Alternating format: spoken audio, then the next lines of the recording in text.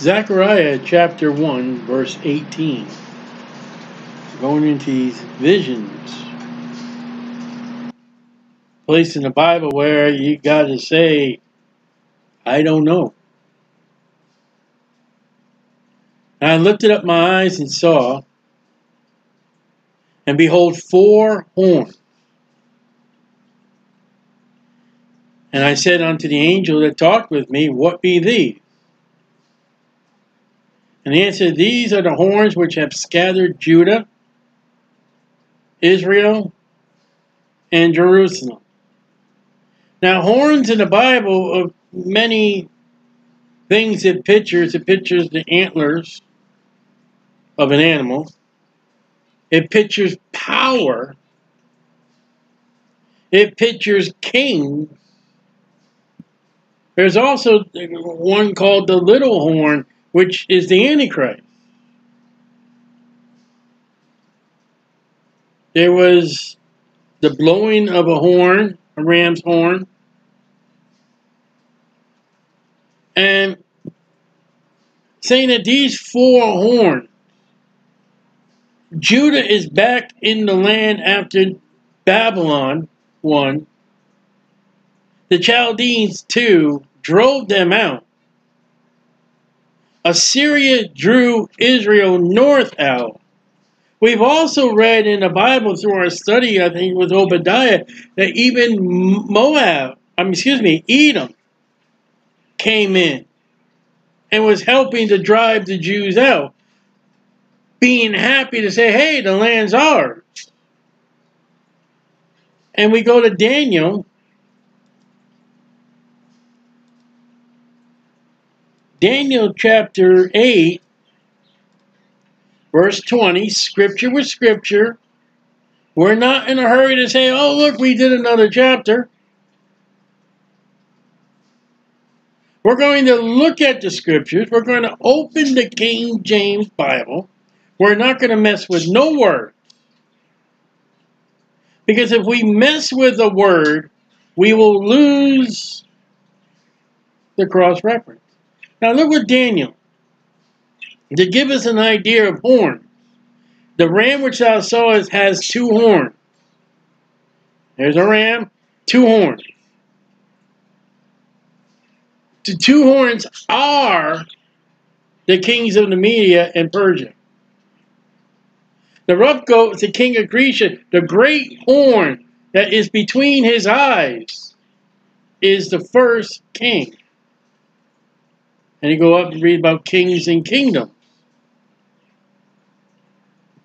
So I am not going to first to be putting that, all right, it's definitely Babylon, Assyria, Edom. But it says these horns, four of them, scattered Judah, Israel, Jerusalem. That would be Assyria. That would be Babylon. That would be the Chaldeans. And I'm guessing, guessing, guessing Esau. I am not going to tell you I had the answers of Zechariah. I'm just going to give you the scripture, lay it out, and may the Lord bless. Okay, now we go more. And he showed me four carpenters. And your typical worldly cardinal Christian is going to go, oh, Jesus was a carpenter. And ne it never, never says Jesus was a carpenter. Well, you know, he was about Joseph, you know, Joseph was a carpenter and all that. Yeah, but he said, I am about my father's business, which his father's business is the temple.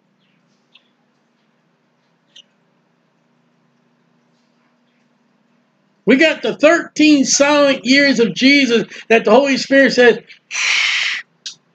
don't say a word. And then from 13 months to 30, shh, don't say a word.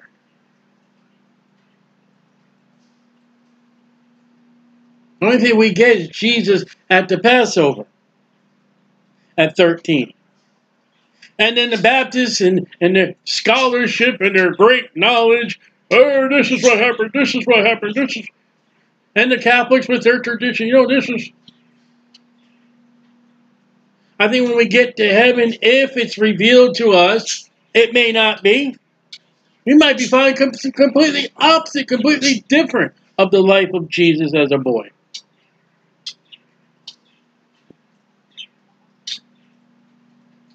You think he was well liked? Well, all they that live godly in Christ Jesus shall suffer persecution. You know Jesus lived godly in, in the Father. Have I become your enemy because I've told you the truth? Paul said. Uh, Jesus would tell the truth. You think Jesus was really great with his classmates?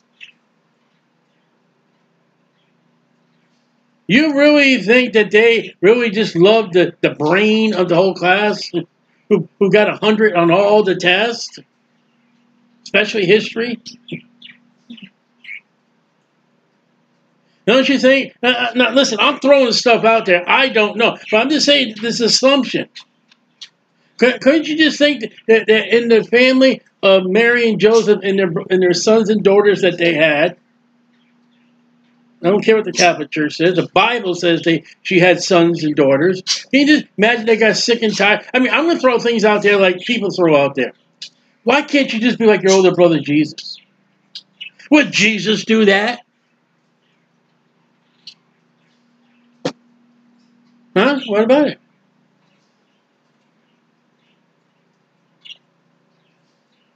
And going to back to the carpenter here, the carpenters, my grandpa was a carpenter. My grandpa, I can go back, and it's funny because some of the things I can't remember no more, but uh, there are fire stations, there are churches, there are buildings that my grandpa as a as a carpenter helped build. My hands, my, my, the hands of my grandpa was in building that building. My grandpa and my uncle Joe went into their own business. I remember the, some of the houses they did. They painted, they did roofs, they did gutters, they did drywall, they did all this work. Some of those houses, I, I if they're still there, I can say that's where Grandpa worked on the roof. That's where there's a motel in Groton, and my grandpa was was help. I mean, if you mess up the doors and you you mess up the walls and all that, my grandpa was hired to go in there and fix the place up. I even spent nights in that same hotel, and I chose that hotel because Grandpa worked in it. And I'm trying to say to you, carpenter is they also involved furniture making, cabinetry, anything that had to do with the work of wood. So we got a vast occupation here of carpenter. Why are they carpenters? I don't know. Why are they not blacksmiths? I don't know. And there are even some that would say that that was even in the, the realm of the blacksmith. Uh, my Bible has a note here. Uh, let's see. 20. I don't know where it is. It says carpenters are designed skilled artists. Blacksmiths, if the horns were iron. We don't know we don't know what the horns are. Were they ram's horn? Were they deer horn? Were they iron? Were they steel? And if it's a relation to the carpenters and the horns, uh,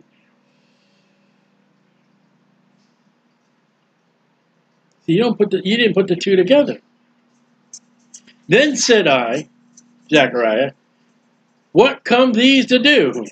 Zechariah's got the great thing. He's always asking a good question. What's this? What's that? What are they doing here? And he's got to the point, you know, what does he say? What has Zechariah learned so far? What comes these to do? Every time he saw something, every time it's been explained by the angel, there is a purpose. So four carpenters show up. Zechariah, okay, why, what are they going to do? There's been no vision that's just, oh, we'll just have a vision, get it over with, and put it in the newspaper and stuff like that, put it in the magazine, put them on the talk show. That's not. There is a purpose, there is a method to God in these visions. And Zechariah has acknowledged that. And he spake, saying, These are the horns that scattered Judah. Okay, Mr. Angel, you now confuse me again. I think we need to get a better angel down here because this angel is really messes me up.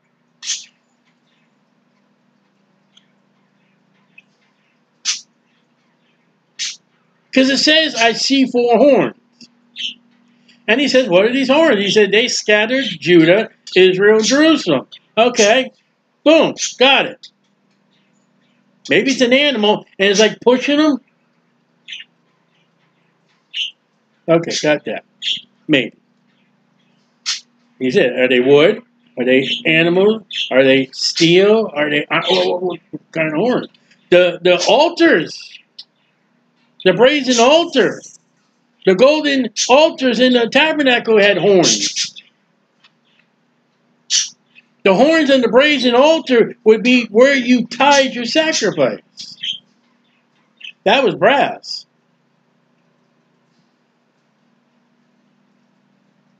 Okay, so these horns scattered Judah, Israel, Jerusalem, verse 19. I see four carpenters. All right. What are they? These come, oh, wait a minute, excuse me, 21. These are the horns. Wait a minute, they're carpenters.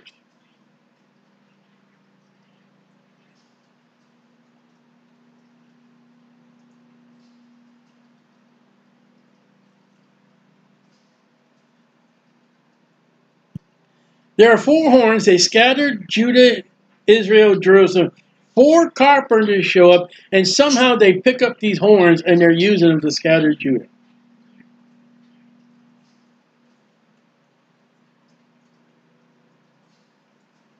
explain it. Uh-uh. I can't. I don't even know what the four horns are. At least Daniel told us it was a ram's horn. It was a goat's horn. It was a brazen altar Moses told us a horn that Moses told us.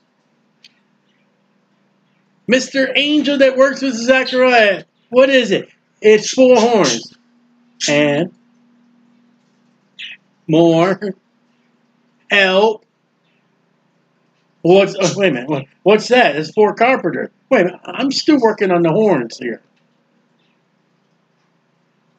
Now it's okay for Zechariah. He whatever it is, he he he sees the horn and he knows what kind of horns they are. To the readers of uh, now, I don't know what the modern Bibles do. We're not going to go go with the modern Bible. I don't care. They're, they're lies. I hope they didn't fill in the blanks to tell us what we don't know. Okay, so they these are the horns, uh, the four carpenters that scattered Judah, purposely Judah. Well, Judah was scattered by Nebuchadnezzar's Babylonian army and the Chaldees. The two right off the bat, we know that. Maybe Esau, but I mean, I don't know where we get the other two from.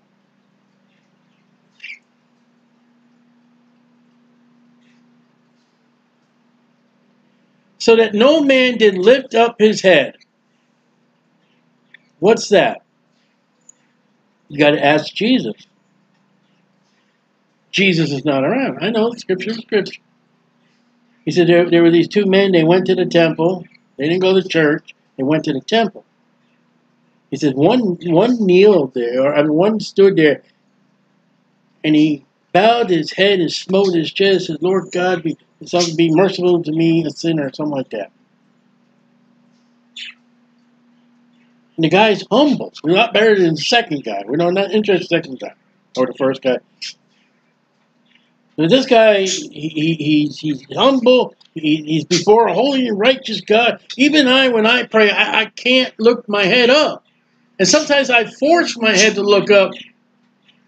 I don't want to lift my head up because I don't feel I'm right to lift my head up.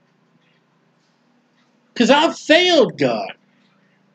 I've sinned against God. Even though I put my sins under the blood and I'm speaking to God, my, I don't want to lift my head up. I'm going to assume that this is what it is. They're, they're, they're, they're sins and iniquity and they're guilty and they can't lift their head up and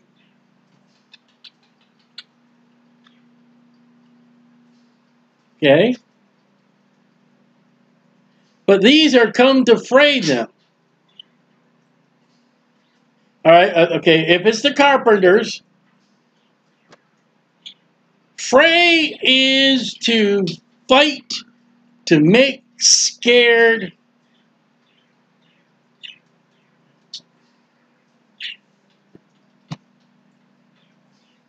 How does a carpenter do that? Coming at you with a saw and a hammer? I'm not trying to make jokes here. I'm just saying. The horns have scattered Judah, Israel, and Jerusalem. Then we go into the carpenters, and it, it's directly pointed at Judah. And Judah can't even lift their head up. And then the carpenters, it looks like, show up, and they're there to make you scared, make you afraid. Don't you dare run that to Jesus, being a carpenter's son-in-law, because they weren't afraid of Jesus. On that kangaroo court that last night, uh, he stood before the Sanhedrin. They were beating the crap out of him. They were whipping him. They were they were spitting upon him. They were pulling his beard. They weren't afraid of him.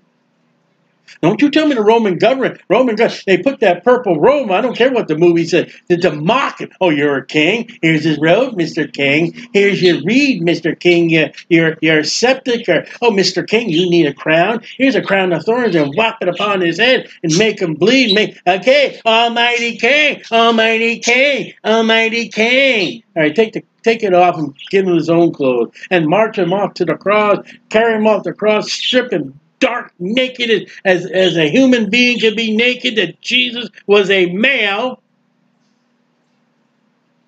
His mother was there. Last time his mother had seen him like that, she was changing his diapers. The disciple that Jesus loved, there he is, looking at his, the one they lean on his breast. Come on, if you're God, come on off the cross. We'll believe who you are. Who do you think man? They didn't fear him. They'll fear him the second time, but he's not coming back as a carpenter the next time.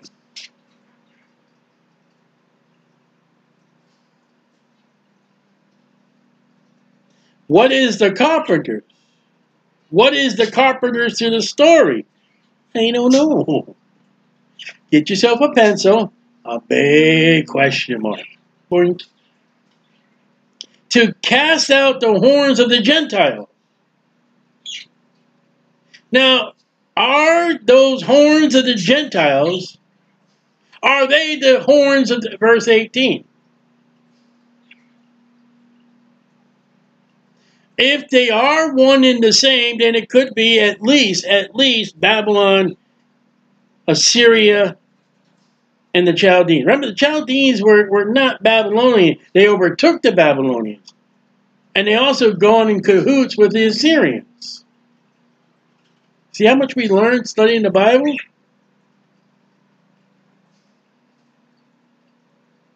Which lifted their horn. That would be a pride. That would be, look who we are. I mean, the Vikings would have the horns on their heads.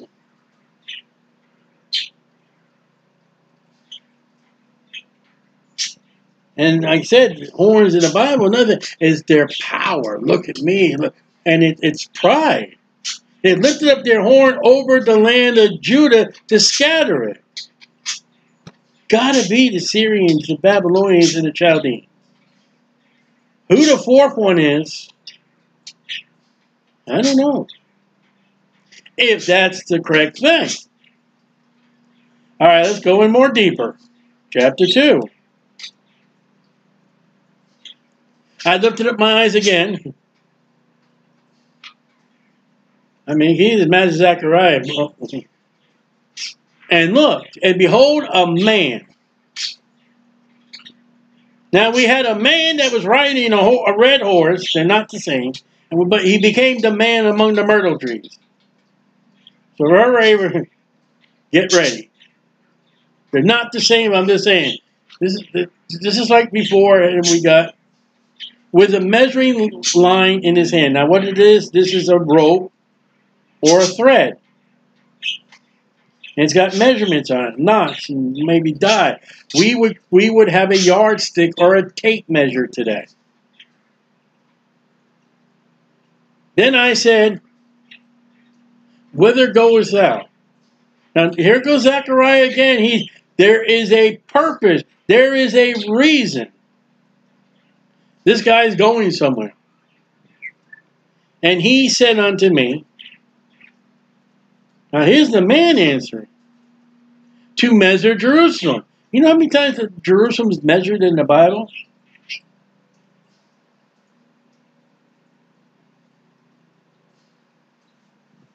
You think God would measure Washington, D.C.? L.A.? I don't think so. To see what the breadth is and what the length is. No height.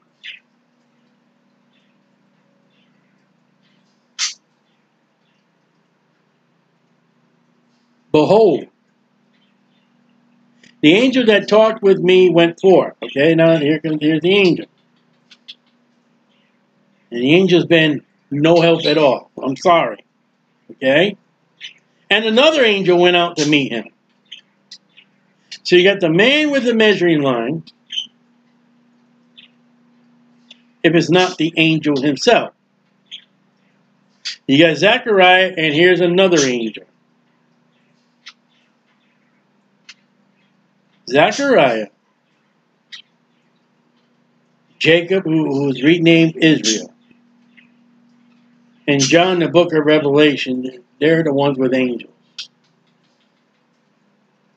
Don't go buy in the store at the New Age book store section. Oh, I'm going to buy this thing about angels. They don't, they don't know nothing about angels. And said unto him, Who? An angel that talked with me went forth, and another angel went out to meet him, the angel, and said unto him,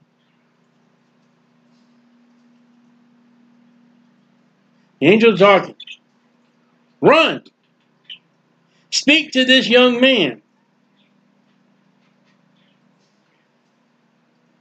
Who is the young man? He says Zechariah. Okay, that's fine. But there was a man with a with a measuring line. He could have been young.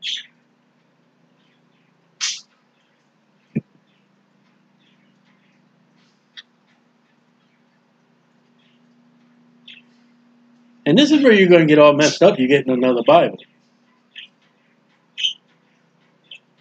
Saying, Jerusalem shall be inhabited, now here we go, as towns without walls. I read that, I read that, I read that. I said, wait a minute. Is it even Jerusalem today has walls? Ezekiel said Jerusalem's going to have walls. But it didn't say. It says, as a town without walls. There's an example. There is a typology. There is a figurative expression. The towns had no walls, the cities did. For the multitude of men and cattle thereof. And what we get from this is Jerusalem one day is going to be the gates are going to be open. And there's going to be just men and cattle and women and children is coming and going in and out over. And listen, Jerusalem today is a vast population. And I, have seen these videos of people showing me when they're having the gay pride month and they're out there in Jerusalem marching with the, the rainbow colors and they're sodomite and all the just wickedness. There's a lot of people there. Wickedness. Can you imagine the time that Zechariah and Haggai and, and uh, Ezra and Nehemiah and when Ezra and Nehemiah tells us how many people went, that's not a lot of people.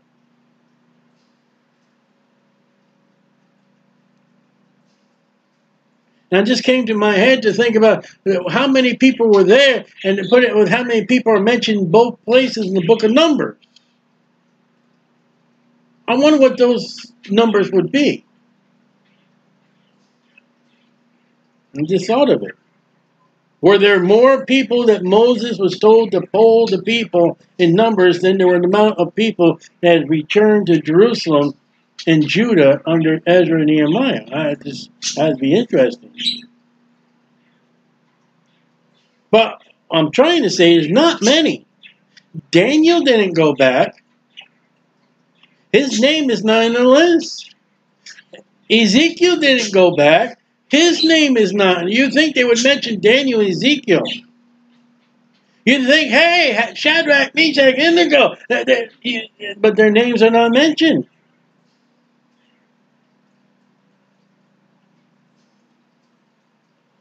Ezra got upset. He's about ready to go. He's got everything going. He's like, where's the Levites? Well, will you go get the Levites? We need the Levites here. They can't stay.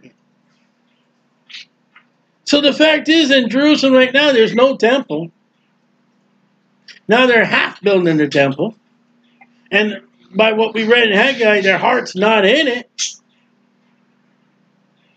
And there probably not a lot of people in, in Jerusalem. The fact is that the enemies come up, Nehemiah,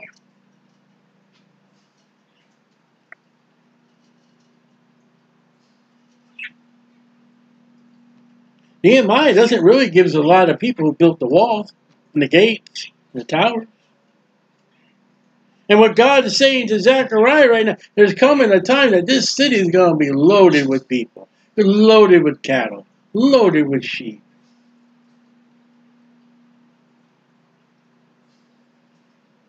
How do you know this is future? For I, saith the Lord, will be unto her a wall of fire, that's Jerusalem, round about, and will be the glory in the midst of her. That's second advent. That's millennium. That, that pillar of fire that guide them into the promised land. Now they're in the millennium under Jesus Christ has now become a fire around the city. That fire, the Bible says, our God's a consuming fire. That fire that when Elijah was raptured up to heaven were these horses of fire.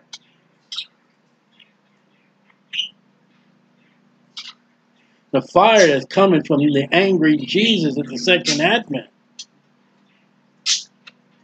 The fire that God said, Jesus said, God said that hell was, was made for the devil and his angels, and, and hell is quite frequently mentioned as a place of eternal fire.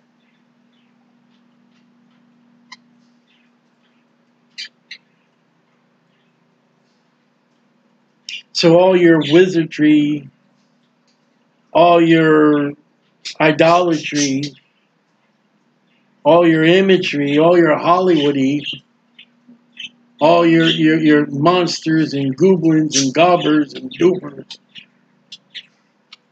and all the main things is they got to have something with a fire. Zeus has that pool of water that looks down to their yard. He puts his hand in there and it comes out as fire.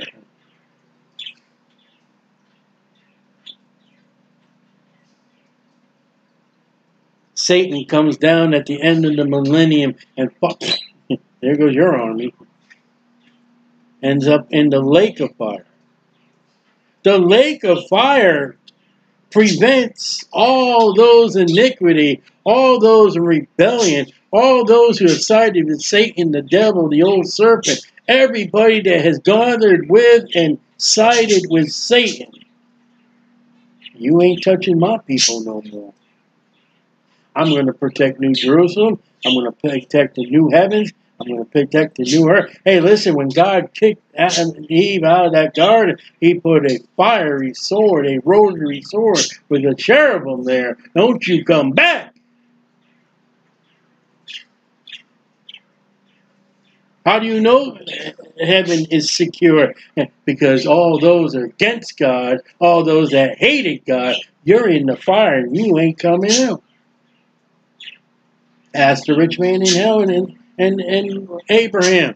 Hey, there's a great gulf between us and you can't cross it and I can't cross it. I got lost family in hell. I can't go over and see them. I got lost friends in hell. They're not going to come over and see me.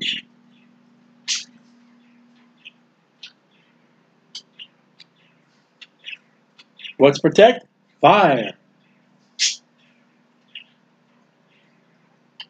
When Dorothy and the, and the Scarecrow and the Lion and whatever the other guy was, when they came to Oz, he had fire.